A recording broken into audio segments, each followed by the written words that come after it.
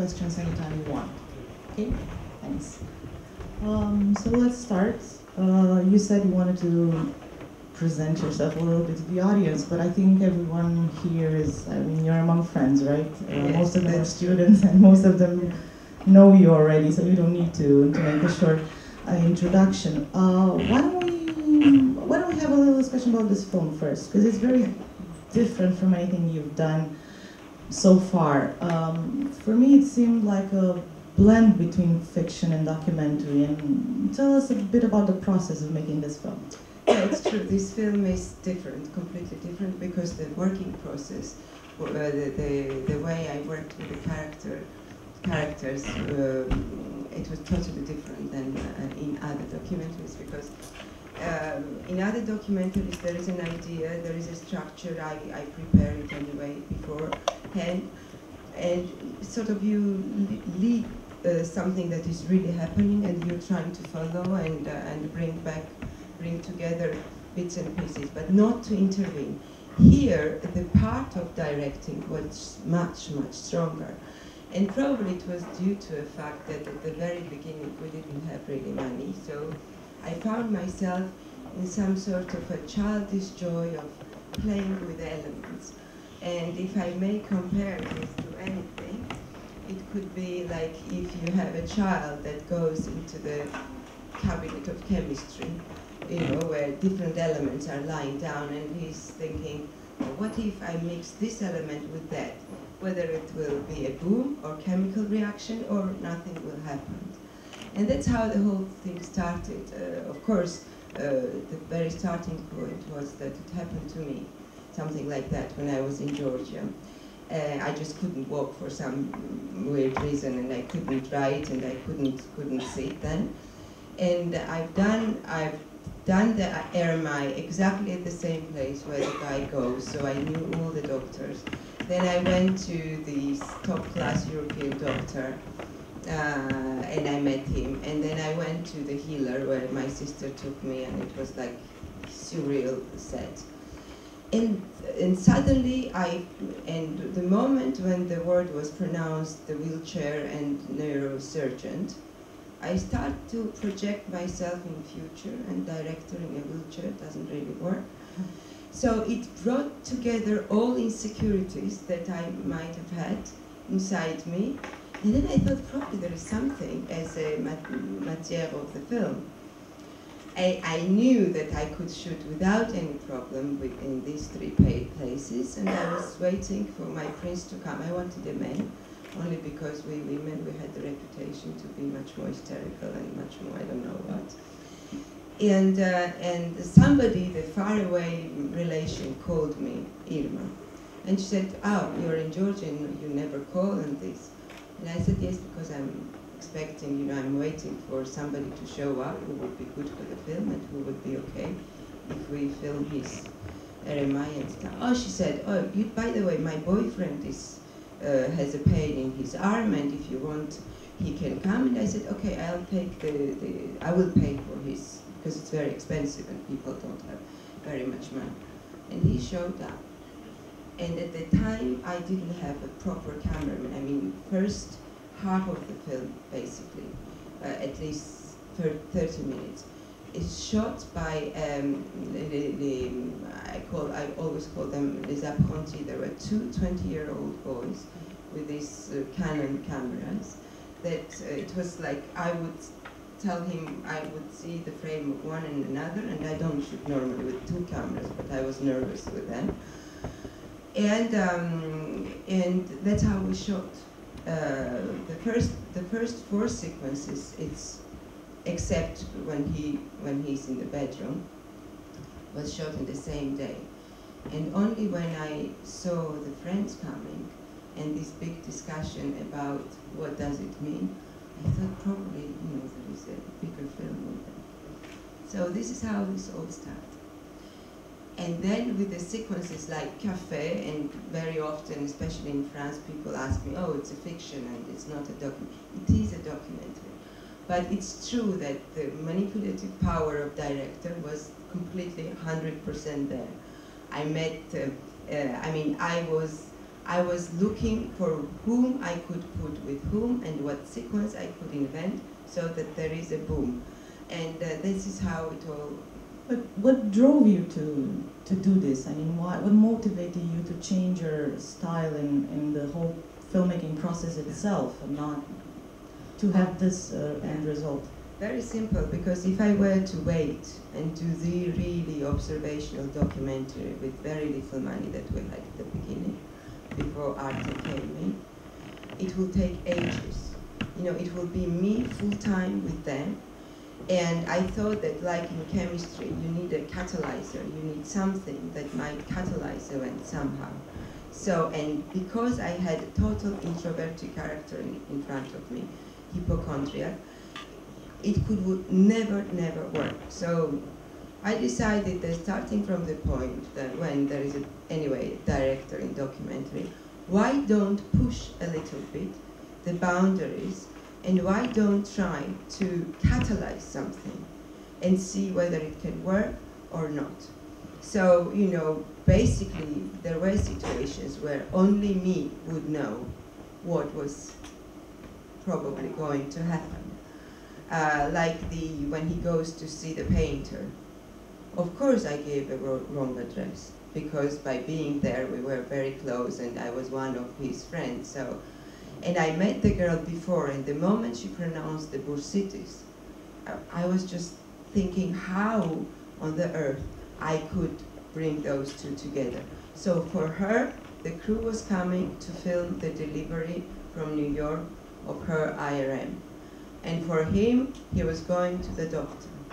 Okay, so what you did basically was push things to happen in a certain direction. Yes. Uh, in order to get something that I mean, you didn't know what you were gonna get, but so it, was more like an experiment for you exactly. in, in uh, maybe changing a bit your style, uh, because um, and the audience can of course ask any questions anytime they want what I've seen uh, in your previous documentaries, and that's why I think it's very different from what you do, you usually go into a community and you uh, analyze the dynamics of the community and the way people interact in a moment of crisis most of the time. And um, I think what was mm, one of my main questions in regarding documentary in general is that you know, of course, the camera makes you act differently. Mm -hmm. Once you, you turn on the camera in front of a person, it changes your behavior. But um, in this, uh, I mean, as you said, you just made, you put him in a situations and you made that thing happen. And how do you think he, he seems really relaxed in front of the camera, but still you say he's introverted. How, how did you work with, uh, with this um, main character, let's say. But it's always the same thing. It's about gaining trust and giving time, you know. Uh, I, I knew much more at the time about him and his problems, personal problems, than probably his wife did. And I knew much more about his wife's problems than probably he did. And you know, um, I don't know, I had a desire, because I've done films about the wars, about the conflicts, and actually when, when I mean, um, when people are in, in, in, in a very dangerous or conflictual situation or if they're in pain, I don't think that they think about you filming them. Because if they're so pre preoccupied by whatever situation they're in, okay, they know that you are somewhere, but then they don't give a damn because something much more important is happening in their presence. So only politicians probably are aware of you being there and because they, they, this is the main issue, of course, the, the image that they're giving of themselves. But normal people, okay, you are there, and then in 10 minutes they have something much more important to do. So the intimacy is there, you know, if you're not like making a whole fuss of you being filming everything. In these situations, it's like Flaubert said once, uh, his dream was to make a book about nothing, which would stand by itself because it's about nothing. And at some point, you know, because we're absolutely overwhelmed by all these very important issues around the world about the war, about discrimination, about this, about that. For me, it was a new challenge. How could possibly I make a film about Something completely, nothing. yes, different. An ordinary man, like some Verdi thing, you know, Traviata. Somebody fell in love with somebody and it ended up badly. And how could I possibly do it and make a film out of it? And uh, if I don't have a challenge, it's no point for me to, to I can't fall in love with something that I've done uh, and I will do again, knowing more or less some kind of recipes. I think it's dishonest in a way. And this was completely, you know, very difficult in a way. How you talk about somebody who is not a president or where nothing very much is happening, just an ordinary man. Can he be a main character for long blank documentary or not? And another challenge was music. No music at all. Yes, because that's a constant in your films. You always use music. Yes, yes. In maybe special moments in, Yeah. in the film, yes. Yeah. Um, is, are there any questions from the audience regarding the film you just saw?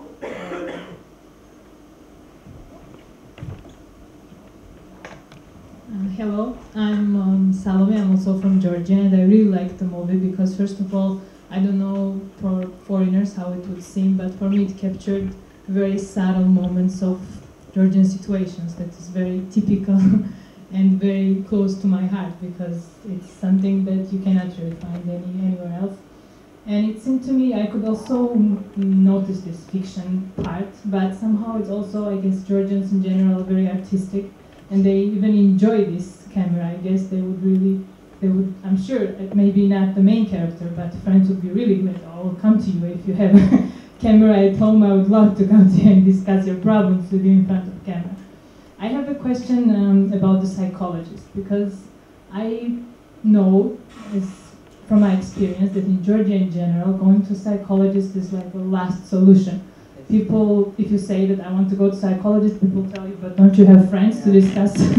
have you gone completely crazy? And I'd like to ask if you could tell us uh, whose idea was it, or was it yours, and who pushed him? Because especially men are really reluctant to go to a psychologist and to discuss their personal problems.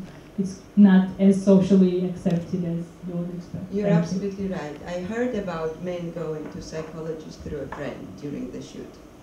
And of course, I orchestrated everything because the usual thing was that sometimes we would sit down with, with the main character and just talk about many things, about everything and nothing.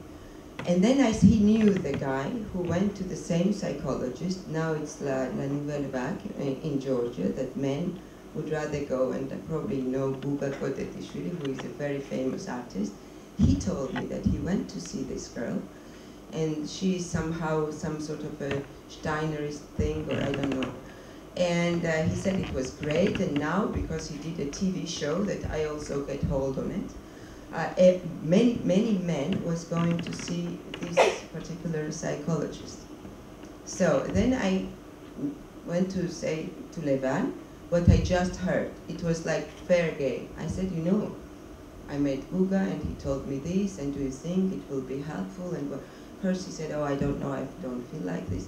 Then three days later he came back and he said, well, probably we can try. So my assistant called the psychologist to ask whether we can come with a patient and film. And she said, well, if he's okay, I don't have any problem with that, but he's not okay, you know, and you shouldn't intervene and this and that. And we said, it's fine. So, yes, it's un- unusual, absolutely. And, um, yeah, but I was behind many things. Any other questions? Okay, uh, we're gonna play a clip from uh, one of your films, Still My Friends, I'm Dead, Yes. uh, and we're gonna discuss about it a bit uh, Okay. after that.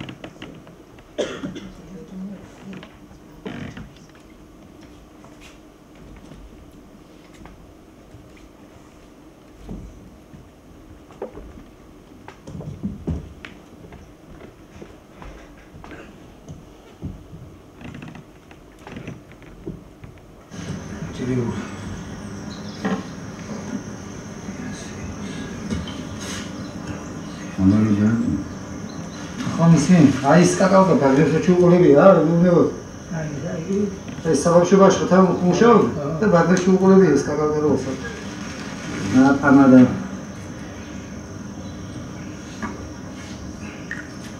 თურიელი. სამარი. ხელი. იყო კონდაში იყო. აჩუ, ხო შეიძლება მაშინ გე. სულებიდეის. çok yaşıyor ama şey gibi. Söyleyebiliriz. Tamam çok iyi ama bu çok iyi. Tamam. Tamam bu iş. Tamam güzel. Veteran burada. Açın.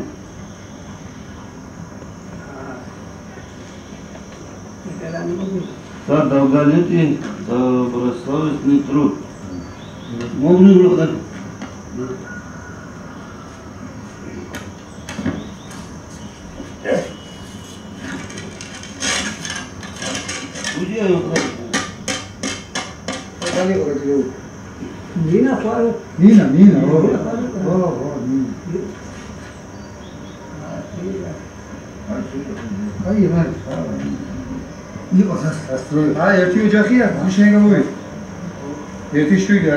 ya gelir.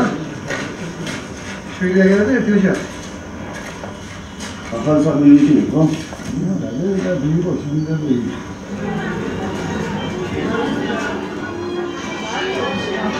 아빠도 나와라. 자기한 좋구가. 자, 이. 네, 네, 네. 이 자석 다가를 약간서로 다 구멍을 Merci. 아빠가 나가다니 აბერა მაკრებელი თუ სავარცხავი სავარცხავი მამა. ლაფას ესენი ლაფასაჩია კაი. ლაფასე კაცო დომინო ხო არა სამიანი. და ის ემოციები რომ ის არ აქვს ხო? ამაშო, ამაშო. ეს რა მოგვაჩვენებს? I się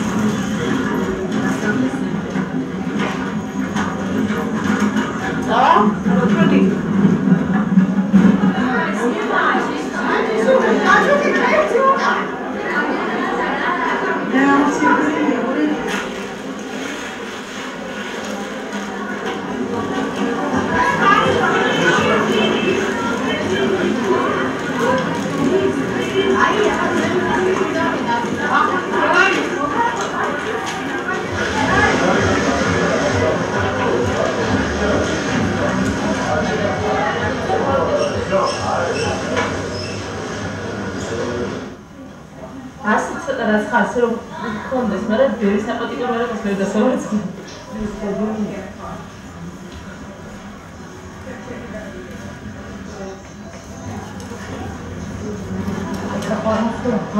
練習場ですよね。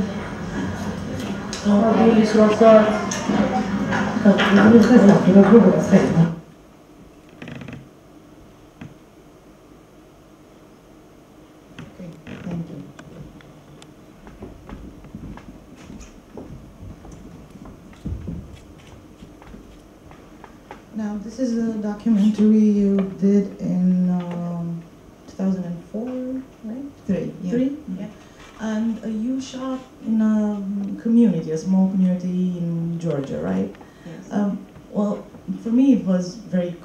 To watch the whole documentary. I mean, before that, you have a scene. Well, of course, there's nothing funny that someone died, but um, each the women are all in a row, and they all wait uh, each other's turn to go and mourn the the deceased, which is lying in front of them. Then they go shopping for wedding rings and flowers, and then one of them goes and does her hair in a hair salon and it's um, all very theatrical and very comical, uh, but it's also um, something very intimate, death of a loved one. And my question would be, and this is in general, how much do you have to work to earn the trust of a community to let for, for them to let you in and do and film this? the I mean this is not the most intimate moment actually you have this thread if the, the deceased uh, died somewhere else than his home there is a custom that you should put the thread and let his soul to follow the thread in order that soul joins the body wherever it is and uh, I thought that uh, I, I lived there for a month alone because my assistant who is professional photographer and a friend, he said you must be off your head because nobody will let you um, to film this. And uh, why I love documentaries, I will tell you just a small episode, like the, about the research. Um, we had we had 11. It was made by 11,000 euros in total budget and shot in 13 days. The preparation was one month. I remember when I when I when I went to this region, which was under Greek influence, and before I, I think there was a passage of Egyptians. If you see the cemetery, it's like what's the name of it? The first portraits of deceased. There is a name for it, but my my uh, in in Egypt, and they would do it in order to allow the others to recognize the newcomer. It's a very beautiful portrait of people. I saw that Yeah. in Yeah, but it was an old tradition, so there were many layers, I think, and it looks like a Galerie de Louvre. It's incredible, it's size-wise, the work-wise, and everything. And I don't know, the, you have these pictures of people who are not longer here that are looking at you, and you expect that at some point they're going to talk. I, I forgot to tell you about that clip when when actually they are talking and livings are listening at the very end. Yes, yes, Yeah, yes, when the yes. tombs start to talk. And um, but the research was fantastic because first they asked why you are here. In the capital, nobody dies or what? I had to invent something. I don't know. I said, well, here it's much more. And in France, you have no debts. And then I invented something which was complete rubbish, saying we are doing something between Georgians and Basques, that they apparently have the same habit. And that sort of calmed them down. But the moment I was filming something else, the first day of shooting, it was anniversary of them, and little boy came towards me and said, everybody knew that I was look. There was the girl who was looking for somebody who is dying. And he said, you know, my neighbor died yesterday, if you want to come. And we went. And the car wasn't, they didn't switch off the, um, the engine because my assistant was very pessimistic about my ideas. I went alone to talk to the family that I didn't know. And the widow who's here in the film, she came, uh, and the man was really a little bit, you know, not happy to see me. And I feel like an idiot how, how I can say at that very moment that I want to bring my crew and my camera and I know that. So I, of course, sensing the, the idiocy of my situation, I still went on. And I remember how her face changed when I said, well, you know, it's for the cinema, it's a film crew, France, it's going to be shown. And she said, cinema, television. He loved television. and then she said, wait, let's ask him. I'm not inventing anything. I really swear. It's all true. She took me and took me upstairs where I saw her husband lying in the coffin and everything. And suddenly I hear her singing. My dear husband Sodne, here is a French crew who arrived just today to ask the permission. What do you think? Should I allow him to sing, to film you? Pose. And I'm standing there and I find myself thinking, please, please say yes. Seriously. And this is fantastic, you know, the, the, the, this is surreal reality. I don't know whether it's realismo mágico or what is it, but I was really begging him to say yes. And she looked, she was, the pose was perfect, just as long as it should be. And I said, he agrees. and you know, fabulous. Try do it in fiction. Nobody would believe or they will say, oh, she smoked too much of her or I don't know, something went wrong here. And this was fantastic. And the whole thing went like that.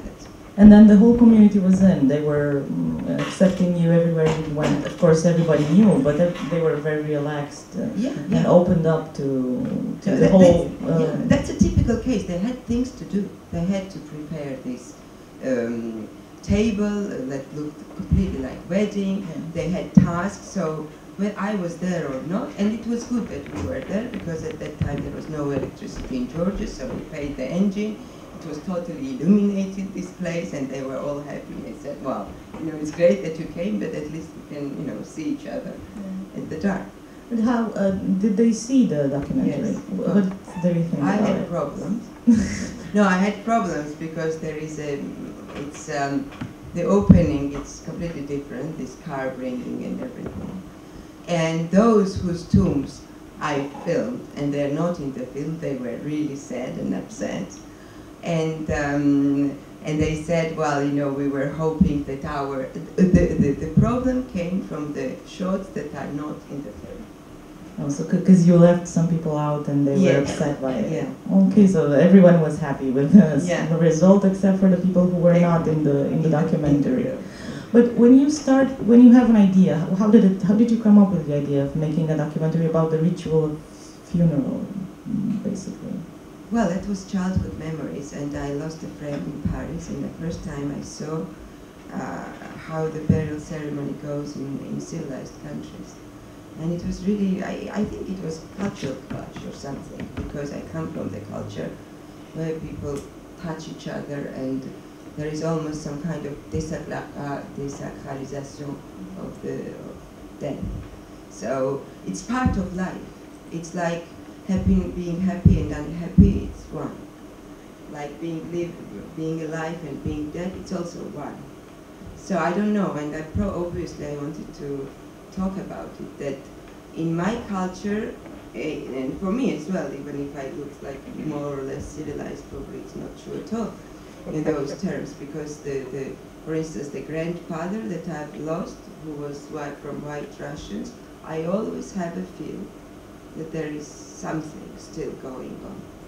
And uh, it was basically about love that uh, it sounds like a little bit idiotic probably, but I truly believe that the ties that are done, they're not um, interrupted by some physical events that is Mm. still going on. It's beautiful because everybody comes. I mean, for those who I don't know if anybody saw the documentary, but the whole it seems like the whole village uh, arrives to pay the respects and. Um, you told me that they don't bury the dead until the whole family gets there, and it's um, it does it it's you said it very well. Is the, the desacralization of, of, of the funeral? It's completely it's almost theater. It's for me it was ancient theater. When I when I saw the, the documentary. It was very interesting, and I that's why I had this um, and this uh, questions about how do you get in there? How do you get in there to how do let do you let people um, allow you to, to film something like that? It's, you know, the wonderful thing in documentary that you step, I mean, Kieślowski stopped doing this because of that. Because you step into the very intimacy of somebody's life. And then you show it on the big screen.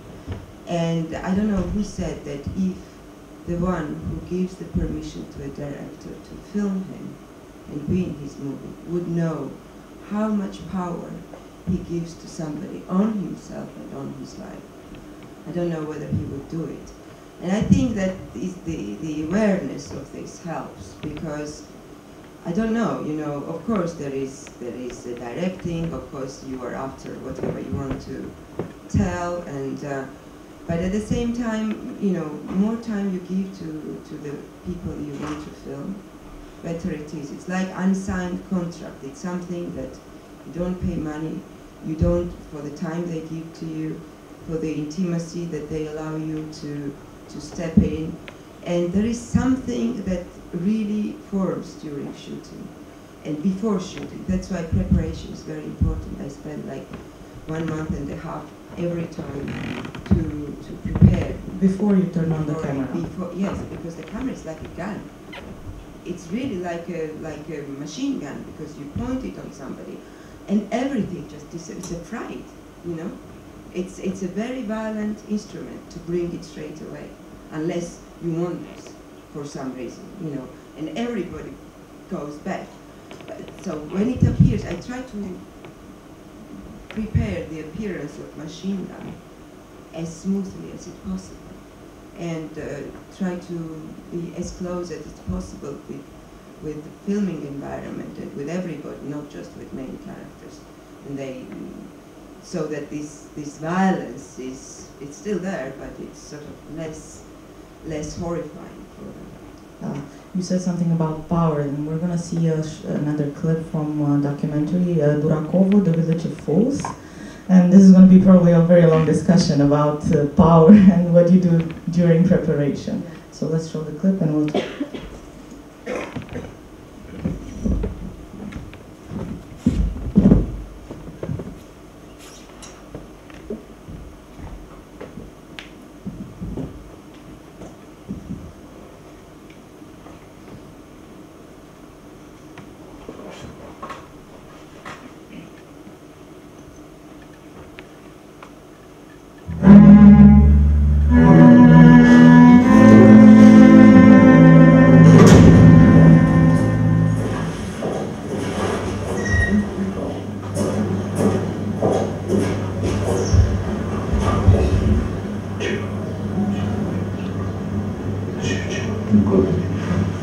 Что ты спрашиваешь?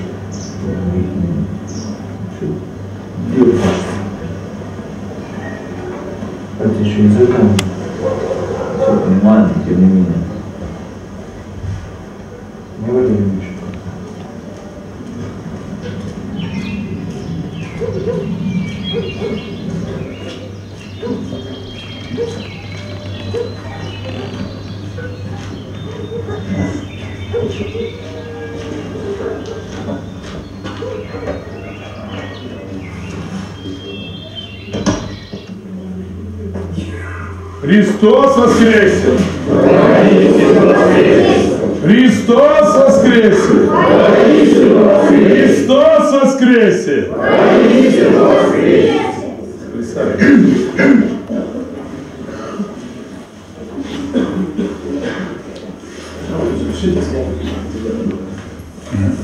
Ну скажи, если вас.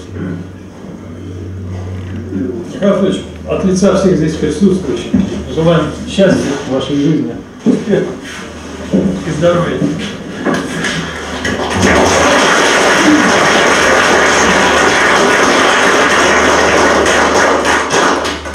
благоденственное и мирное житие, и святое поспешение во всем, подашь Господи рабу Твоему Михаилу и всему семейству его, и сохрани их на многое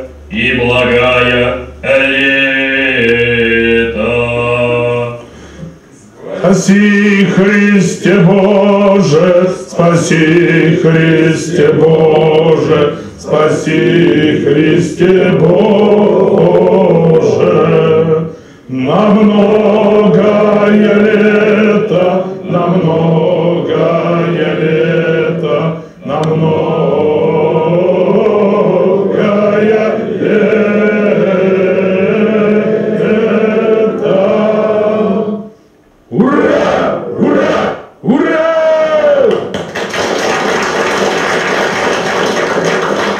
Спасибо, присаживайтесь.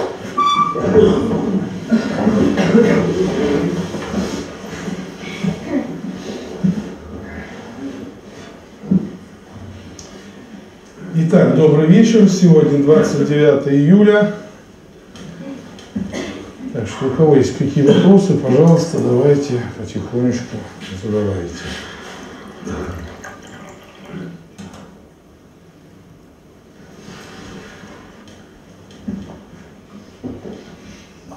А, Да ты же собрал свою жизнь. Я Да. не сказал. А что ты Андрей сказал? Не знаю. Я не знаю, как он понял. Я не собирался. Перепутал что? Наверное. Будьте послушны наставникам вашим. Будьте послушны. Меня Господь здесь поставил. Вы доверяете мне. Вы обязаны доверять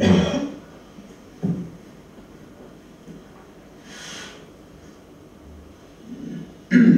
Поэтому нам прежде всего какие слова вот должны вот сейчас быть. Я не понимаю. Простите, я не понял, что вы от меня хотите. Михаил Федорович или там кто-то другой более опытный, скажите, я правильно понял, что нужно вот сделать так, так, так? Вот тогда это здорово.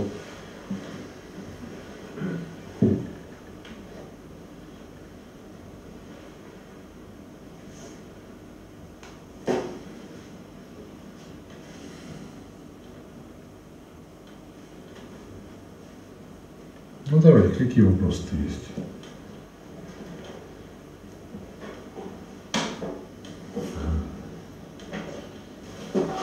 Добрый вечер, Михаил. Добрый вечер. Я попытаюсь сформулировать кратко свой вопрос. Михаил Федорович, э, хотелось бы узнать ваше мнение. Приемлемо ли для России западная модель демократии? Спасибо. Этот вопрос не дает тебе возможность трезво жить? Мень. Отчасти, да. Отчасти, да.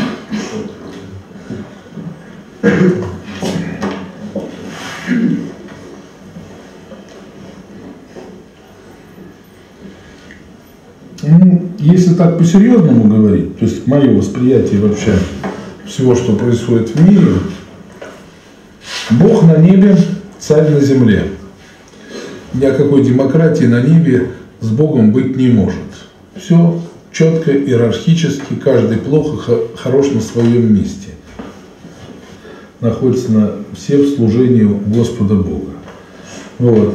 Русский – это принадлежность, принадлежность русскому царю, помазаннику Божьему. И вот за веру царя и отечества с этим, так скажем, девизом жила Россия. Понятно, да? Но враг рода человеческого все время надо раскачать, все время вот это построение, построение рая на земле, вот это все свобода, равенство, братство. Прекрасный лозунг. Только свобода, равенство перед Богом. Братство перед Богом. А равенства такого вот равенства, его на земле нигде нет, ни в природе, нигде. Понятно, да? Вот это вертикаль власти. Бог на небе, царь на земле. Но мне нравится наш президент. Наш президент, который сам ходит, сам говорит, сам принимает решения, берет на себя ответственность. И вы обязаны ему подчиняться. Обязаны. Нет власти не от Бога. Значит, начальник всегда от Бога. Никакой демократии нет. Не везде, везде, везде есть иерархия поведения. Старший, младший и все. Поэтому любые такие, вот как у нас началась перестройка вот с этих демократий, я не знаю за западную демократию, я ее тонкости западной демократии не знаю, я на себе ее не испытывал. А то, что демократия, которая у нас здесь происходила, и как она сюда насаждалась, то мы ее увидели. Так все, начинается такой человеческий беспредел. Беспредел. Для чего? Только разрушить. Все, все это ведет только к одному, к разрушению. И поэтому мы сегодня идем как по минному полю. Сегодня как никогда нашей стране нужна вертикаль подчинения. Не хочешь подчиняться, купи себе билет и лети в другую страну, принимай там подданство, чего угодно, там, где никто никому не подчиняется. Вот. Вот это о демократии.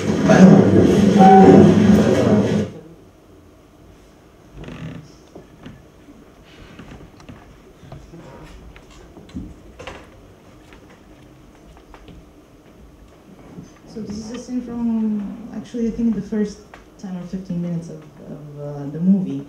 Uh, for the audience, this is like a school for ideology. Uh, people, people I don't know which people send their chil- um, not children, relatives or people they know to him.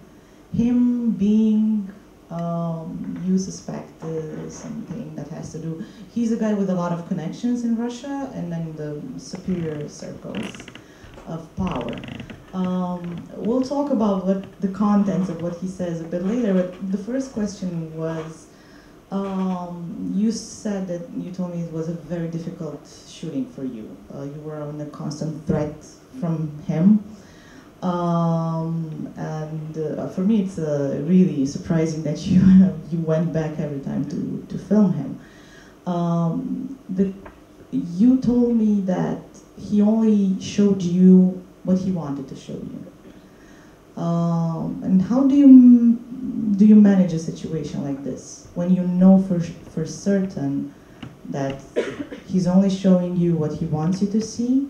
And how, how do you go on shooting and how tell, tell us a bit more about how everything went with him.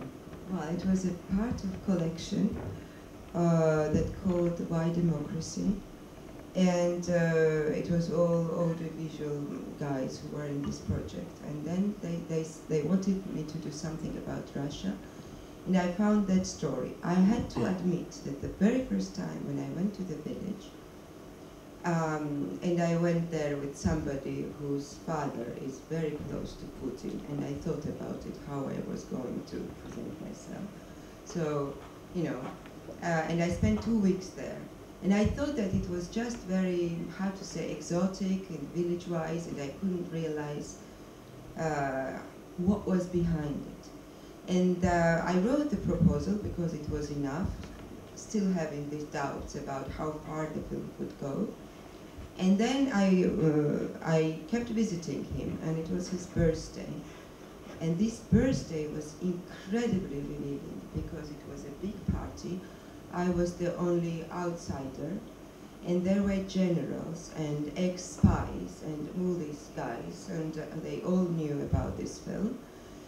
And um, at some point, I didn't ever ask question about it. Somebody who wear normal clothes got up. He had the the big uh, how to say many dollars in his hand, and he said thank you to to the to the main character. He said thank you very much, Mikhail Fyodorovich. Um, our department will never forget that um, your achievement, and even in some uh, stock exchange place, they didn't understand that it was, that they didn't get that it was not quite what they thought it was. Mainly what I understood through that, that there, there were fake dollars. He had, he had his imprimerie, that's the only thing I've never seen. And I thought that it's 150 kilometers out of Moscow, and I thought that now somebody will walk me out, and that will be it. I don't know. He thought that I was really silly and I stupid, and I look very much like a clown, which is kind of my savior, really, in this kind of situation. I never ever raised this question about him, and I went out to smoke because it's forbidden. And somebody else followed me, who was a, a resident during the Cold War in Paris and in Brussels, and who started to speak with me with perfect French, I have an accent in French, he didn't. And when I asked, uh, of course it's not uh, him who told me that he was a resident, this is the main character later on. And now he was a chief, uh, head of some Russian bank. And then the casting was very interesting, because he's not number one, he's probably number five or seven in the, in the, the chain list of command. Yes.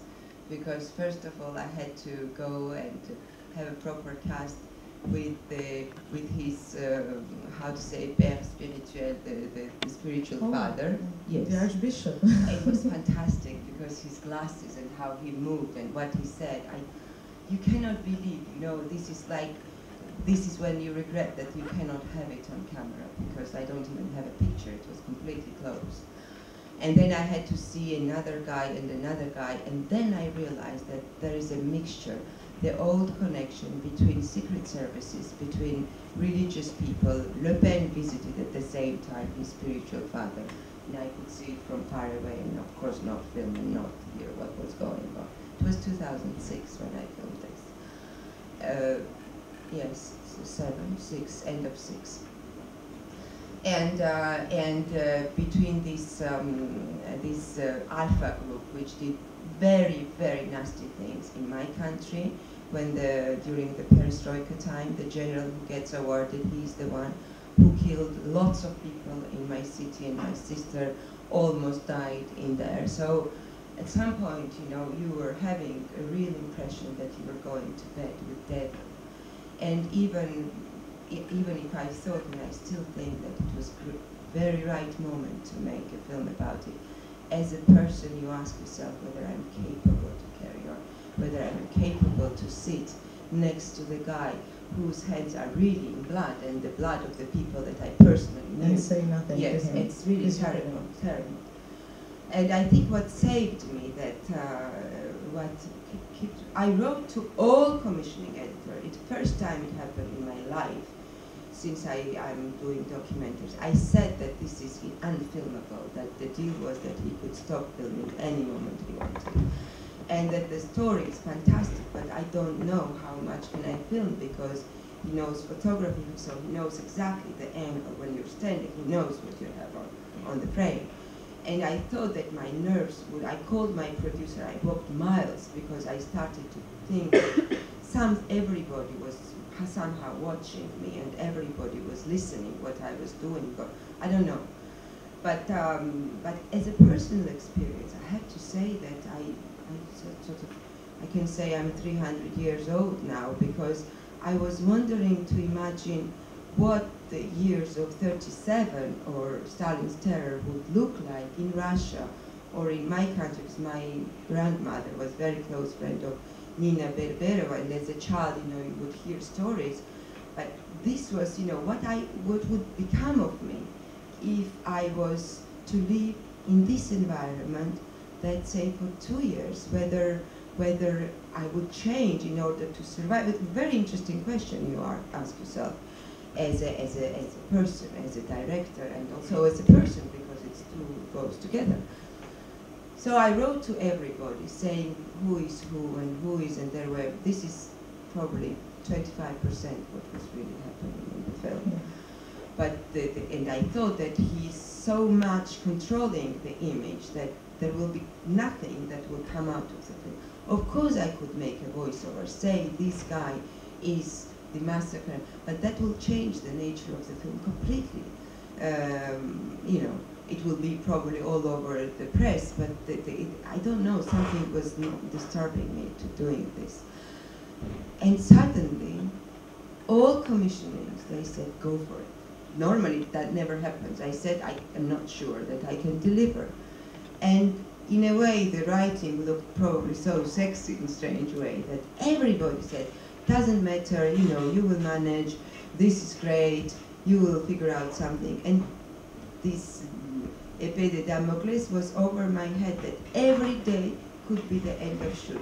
So half day I was acting, and the story I told you about the bed was part of it. Um, that trying to convince him that now we can shoot this thing or that thing, and he would send somebody to watch out what the hell I was shooting, or come by himself. And uh, and this was the most tense and unhappy. We never laughed.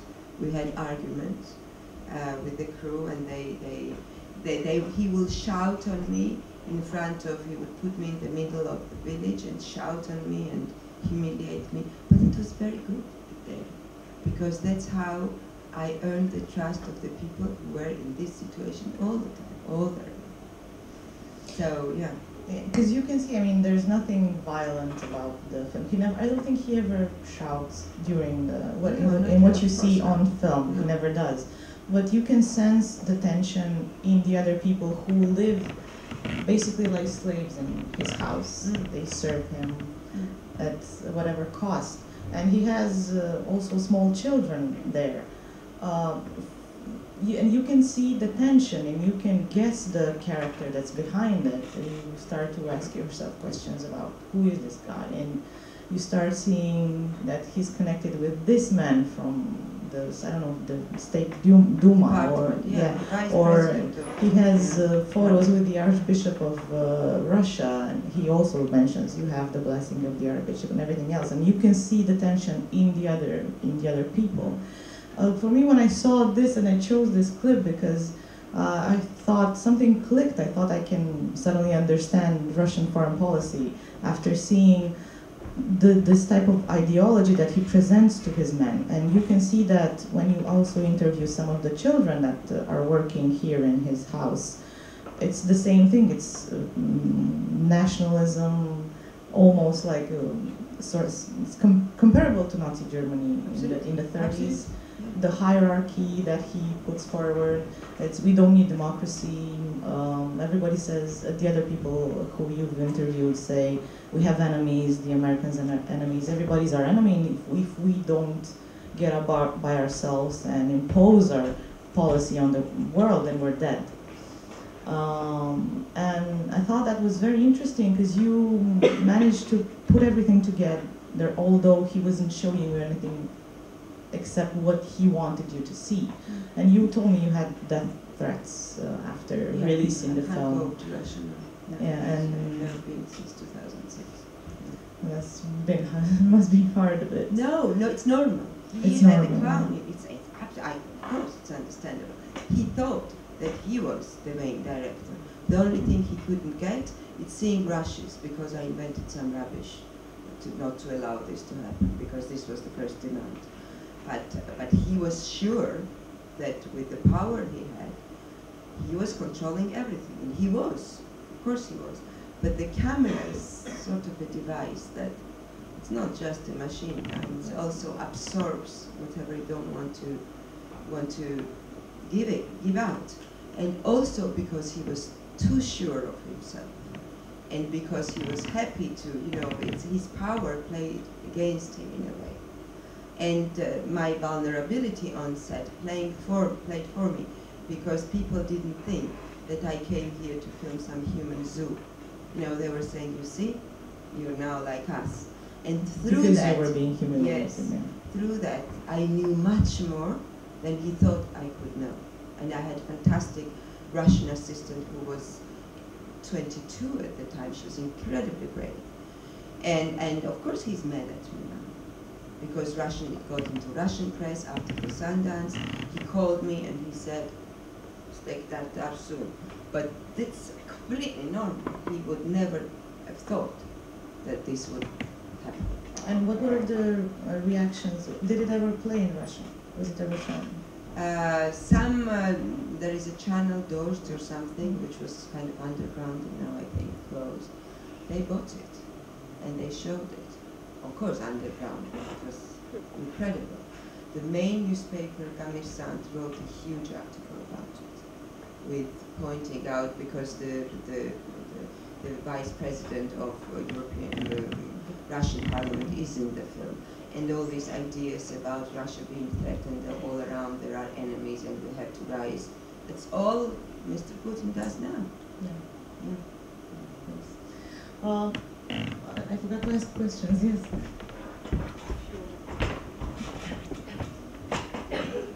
I would uh, be very interested to know uh, how this experience, I mean, I haven't seen any of your movies, but how this experience and any other experiences that you might have had uh, surprising this subject about the democracy, let's say, in Russia, uh, have deepened your understanding of the foreign policy in Russia, because she mentioned that she understood.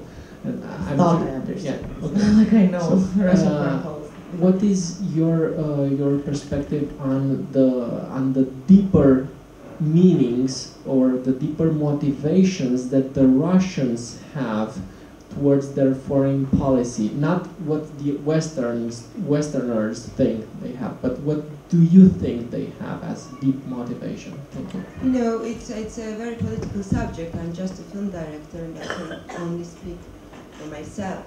But it, it, it's all frustration. I don't know how, what's the word uh, in English for récupération. It's very interesting how uh, the higher power, parliament or president, can play with the frustration of the nation. Of course, it's a great nation. Of course, they have fantastic writers.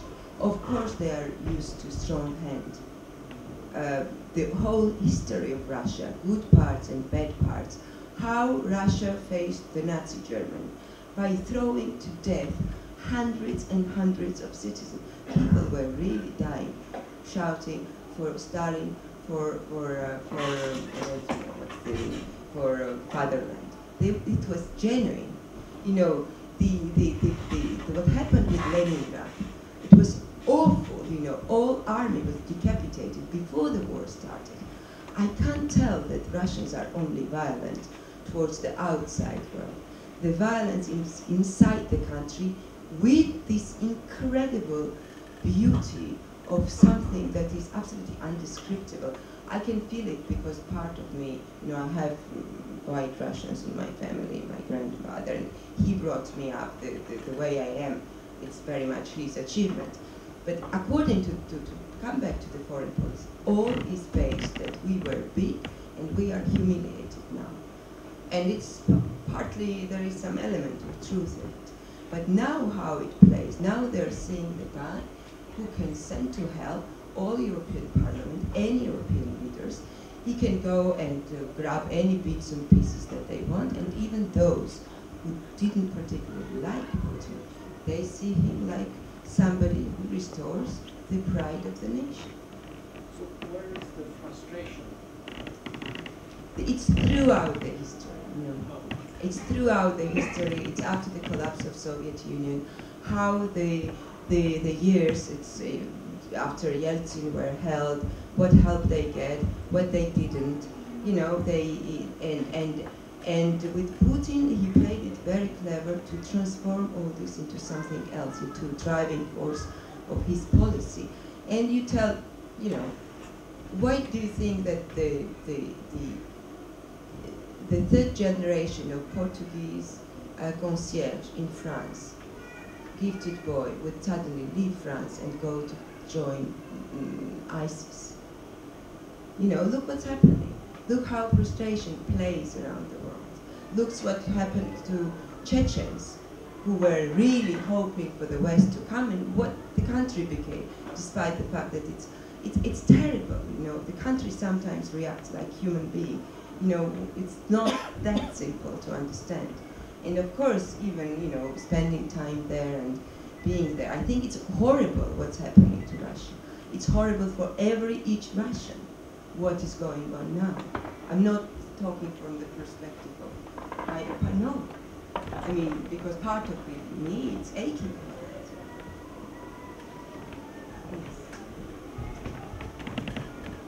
Um, I just want to also say my opinion and then ask you if you are kind of if you kind of agree to this. I also had this feeling, me as a Georgian, talking to normally ordi- normal, ordinary Russian people, that somehow we were speaking in a different surfaces. Like at some point, our conversation get, got to the point that I couldn't just speak in the same terms and in the same ideas that they had. And I completely agree with you that this feeling, what I sense from them, is like defensive feeling Offense, that goes like in a bit aggressive way. But I mean, I felt weird for the first time when I actually understood this theory. that I could actually feel myself in their shoes, how they really believe that unless they become this defensive against the whole world, everything will destroy. I mean, everything will be destroyed in their country. That Russia, big Russia, has to rise, and it's being humiliated by everyone, and especially they feel it like very uh, painful from Georgians because they consider us as like part of Soviet Union, and it's for them it's unbelievable that even Georgia and even countries that are so close to us, in their opinion, like in the history and everything, even they want to go to Western um, uh, philosophy and Western values now. And yes, I don't know. Do you agree with this? And also, do you have any um, solution to this? How you could go on dialogue with I ordinary people? speak for films, you know. I, Yeah, it's yeah. not my Not political. I mean, I mean, on the dialogue sense of like normal people talking I would never other. dare, you know. Politicians is politics is not my point for, you know. I can only share my, my personal thoughts with you, but I'm very far from making a statement what should be done. No, no, not on the, the international level. I mean, like when you speak to an ordinary person, what can be the common language? Like, I don't mean Common language are films, really. The space where all uh, all enemies can get together somehow, you know. This is what I'm trying to do. I don't know whether it works or not, it probably doesn't, but the only space where people can have conversation is art. And documentaries are perfect. If you are able to, after the film, to talk to the Russian without him breaking your jaw, it's already something, you know. We can still disagree, but that's how the invisible ties are created through this incredible, wonderful land when, when people can share their thoughts without getting on each other. Thank you. I watched the movie when it was out, like soon after. I was younger back then, and I was really shocked. And it's uh, it's a great movie. Thank you. Again. Thank you. Uh, any more questions or can we go on? Um, now the next clip I've chose it's something that you found in an archive. It's from um, um, one of your first documentaries, the Chechen Lullaby, um, and it's something I want to discuss about. It's very it's a very strong image, and um, that that will lead us into a discussion about uh, the conflict zones you were in and what you filmed there and afterwards. Let's start the clip. Uh, where, where, where do we start? From the guy or from the man? The, good. Okay. Okay, so let's play the, the clip from Chechen Lullaby.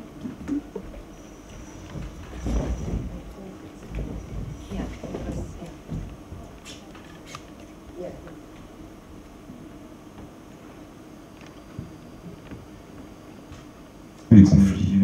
Où que ce soit, elle a toujours été. Ça fait partie de la guerre.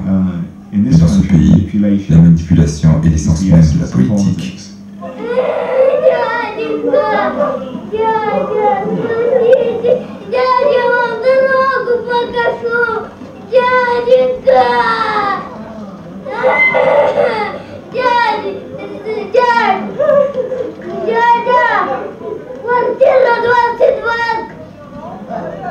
Пустите!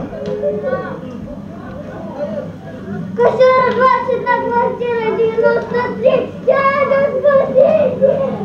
Дядя, вот мой дедушка лежит! Дяденька! Дядя! Дядя!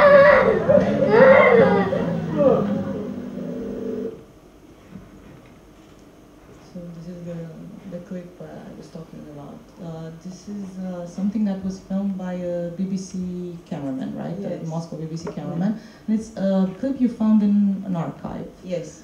Uh, you made this movie after being a war correspondent in, in Chechnya. Yeah, it was the first, our first collaboration with Thierry Garel, who is here. And the idea was that there is no color grading uh, in archives because uh, it totally changed the way when we tried, totally change the nature of the of the images of war because it's really terrible how spectacular they can suddenly become. It was like carte postale. And, um, and the deal that I had with the BBC that uh, I would come in at 9.30 in the evening when everybody will go out and they will let me play around with their archives. And this is uncut clip.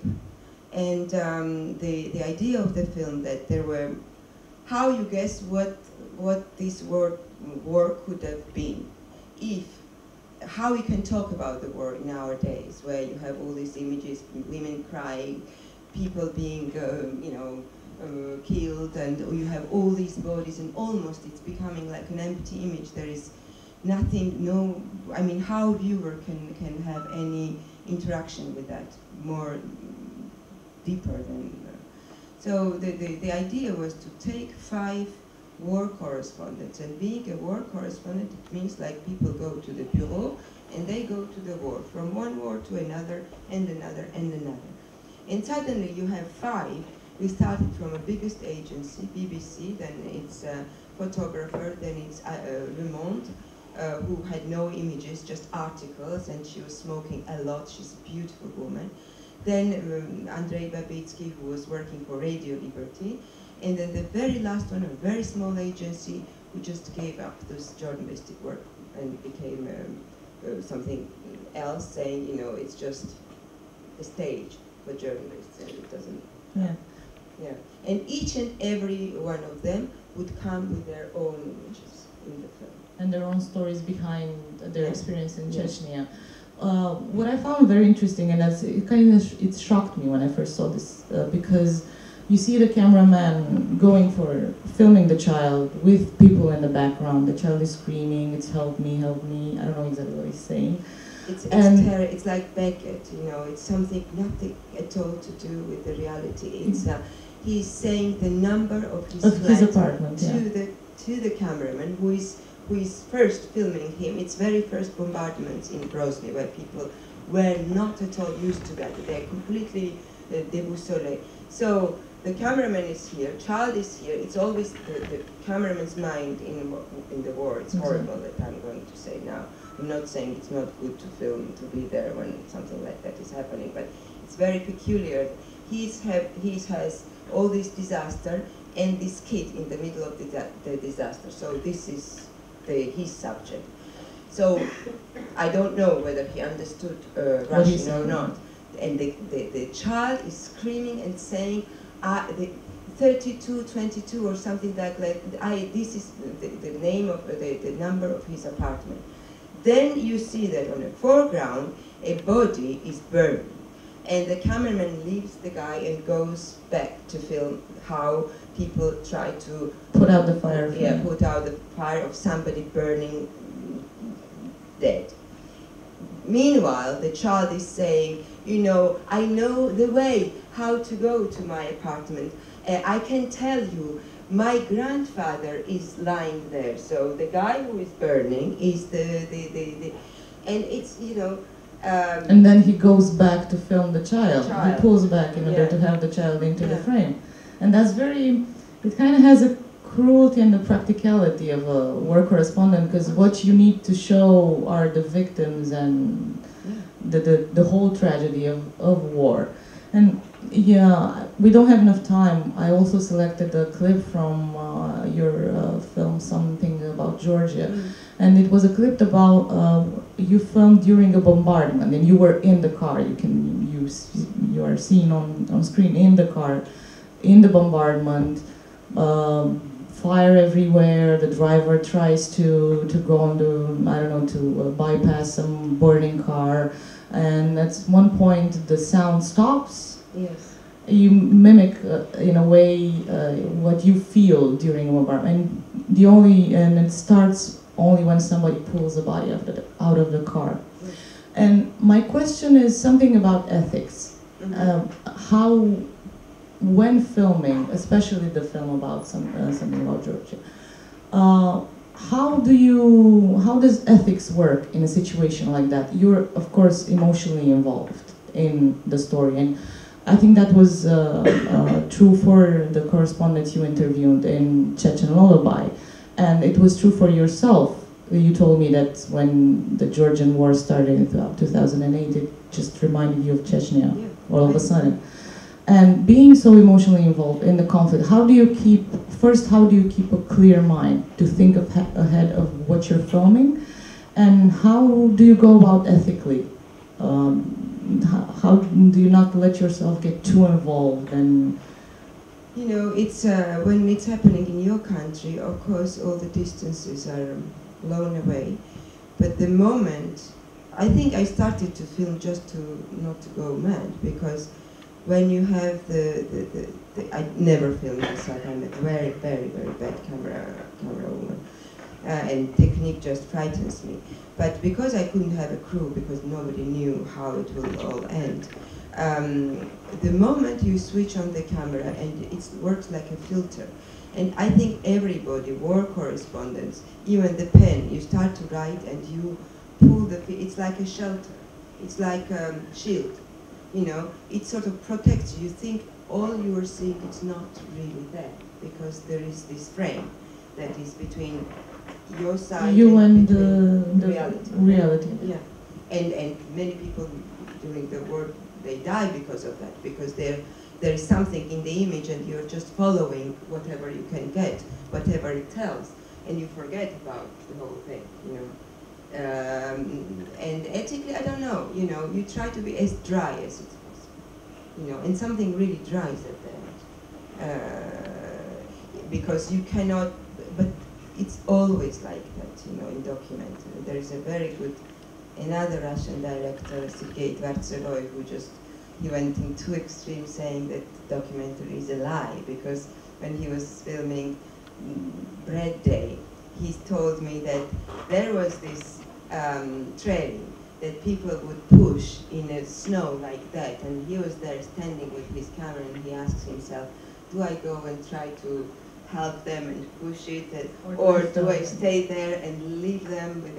It's it's you know th this is a job that has these kind of parts and questionings, but of course, if you decide that you are a director, you take director. You can't be aid worker and director and pushing the car and being, you know, I don't know, something in your brain stops functioning when you when you when you when you go on that path that you were making a film. Uh, of course, you know, whole world can collapse in my family when I'm filming. I'm I'm, I'm not there.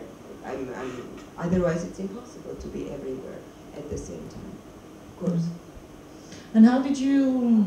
I mean, of course, you didn't know how the war in Georgia was going to end, and you usually plan ahead when making a documentary. How did you do? How how quick? How can you plan ahead when you don't know what's going to happen? Uh, you know, uh, war started and I left straight away. And uh, the only thing I should plan, I should have all the numbers, mobile numbers of all ministers, get all my connections in place in order to be able to, to call them when I needed to pass. And with Russians, because I don't look Georgian and it's great during the war and I can fake the accent and I can, you know, speak in Russian with slight, some incomprehensible accent. So I could get to the places where nobody could get, of course. If I were to be caught, that will be another annoying story. But I sort of trusted the intuition. There were places where I didn't go, but there were places where I had personal conversation with these very the, the, the, what's this um, very special um, military force, which was great because the moment you say cinema, they all go childish and suddenly something softens. And of course I know this now because... Uh, and it helps a lot. Of course. Yeah. And they will tell something and how long and when and where is it and you can know everything out of this. The, the, the aim of the director is to find this space where the conversation is possible. And of course, if they ask my passport, that will be straight out, out, and we're not talking to you. So being un, un, un, un uh, difficult to define who the hell I am and where I come from. It was the key for some uh, space that was not contaminated by anger, by who should prove what, and the, the, the human being could appear, you know. That's great. Uh, I think one question, although they're going to throw us out of the theater. Yes, please. No, I want to. I want to go back to this idea of control and controlling, and uh, it reminds me of a famous text by the film critic, French film critic uh, Jean-Louis Comolli about documentary, uh, telling how uh, the script of a documentary has always to be rewritten because reality can't be scripted. So that the essence of documentary was an ongoing rewriting of the script in a world that is overscripted. The globalized market world is overscripted, is framing our, our lives, and that the essence of documentary was precisely that at every stage the desire of the director has to re-script, try and control a reality that is always escaping, so not really feeling any preconceived uh, shape or, or dramaturgy or whatever, despite the fact that, of course, the documentary has invented his own tools, his own strategy, his own uh, dispositif to do things. And just because seeing now where uh, the last film uh, that you have done, uh, the desire to uh, to go to fiction that I know you have to yes. is also something uh, of accomplishing a kind of phantasm of maîtrise where suddenly you would control every element and the essence of a film, of a fiction film, as Fellini said, is that every detail has a meaning, every movement, every which you can do in fiction. You can control every element, every word, every lighting, every timing, every uh, sounds. And so, are you really ready to abandon this way you cope with reality uh, to be uh, to be in another kind of art, which is a more controlled art, where you have to rebuild something uh, that will be meaningful, of course. It's a, it's, a, it's a question that I'm asking to myself every day, Thierry, seriously, whether I'm ready or not by what you said, it's, it's true. It's all, all the time escaping uh, reality or control in documentary, and I, it is course poursuite that I just love. uh, I don't know, you know, I don't know whether I'm ready, but it will be a new challenge, and I think that uh, the style of directing in fiction would be half and half. I don't know whether I will, whether I would want to control everything at every moment, because we had a very strange conversation once. Mm, I had to speak about documentaries, and Volker Schlöndorff was speaking about uh, fiction. And I think that nobody could understand because we spoke a little bit before. And what he was saying is every good fiction is always when there is a part of documentary. And I was saying every good documentary is always when there is a part of fiction. And I think it will be something like that when, once it's done. Of course it will be much more controlled. Of course the responsibility will be terrible for me who loves when something just jails out of nothing and it's like a moment of grace in documentary. But um, I don't know, I'm sort of, I'm really thrilled to have this new challenge in a way. So we're out of time. I would thank, thank you very much for, for coming. Yes, thank you. And thank you to Nina for answering.